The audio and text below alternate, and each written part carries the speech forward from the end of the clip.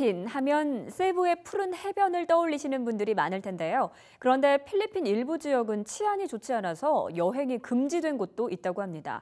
사무관님, 필리핀을 여행할 때 방문해서는 안 되는 지역이 있다고요? 네, 그렇습니다. 현재 필리핀 남부 민다나오 섬은 다바오와 카가 안데로시를 제외한 섬 전체에 특별 여행병보 2단계가 내려져 있는데요. 특별 여행 경보 2단계가 발령된 지역은 여행금지 지역으로 외교부의 사전 허가 없이 방문할 경우 여권법에 따라 처벌받을 수 있습니다. 민다나오 지역에서는 우리 국민이 납치돼 사망한 사건도 있었던 만큼 이 지역을 방문하시는 것은 매우 위험하니 방문 삼가시기 바랍니다. 네, 특별 여행 경보 발령 지역을 미리 확인하는 게 중요하군요. 그러면 필리핀 외에 특별 여행 경보가 발령된 나라는 어디인가요?